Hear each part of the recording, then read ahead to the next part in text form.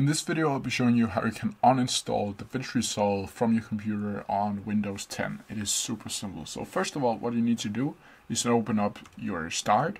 Then you need to click on delete programs like so and then this page should be popping up. From here you can either choose to find it directly on this list here or you can search for DaVinci Resolve 18 on the control panels.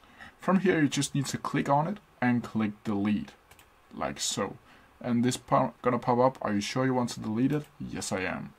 And then this Windows installer will pop up and you can just click yes. And then as you can see now, it's finding all the information and deleting the program. And as you can see now, whoops, now it's completed uh, out of the way from this list here.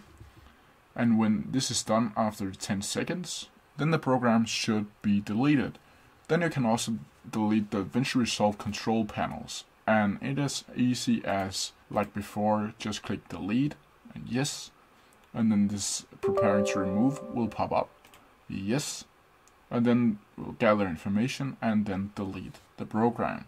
If you have any questions about it, please leave them down in the comment section below and I'll try my best to answer them as quickly as possible. See ya!